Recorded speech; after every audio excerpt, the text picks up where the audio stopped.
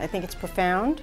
Fascinating, heart-wrenching. I'm gonna cry maybe because I will cry. Very moving. I was so moved that I actually took my mother to see it yesterday. It was just an unbelievable experience to experience it along with her. I think everybody should see it. I like the music, I like the dancing. I was quickly just involved. Donna Murphy actually becomes from this old woman to this young woman right in front of us. I had the most wonderful feeling of pride and just faith in humanity.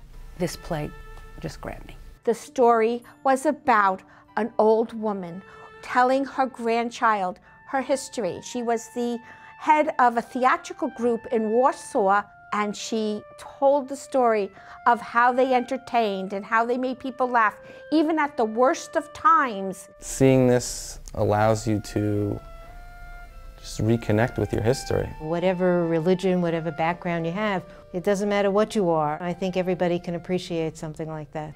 See it, bring your mother if you can. I think it's important for all people. I can't say enough good things about it.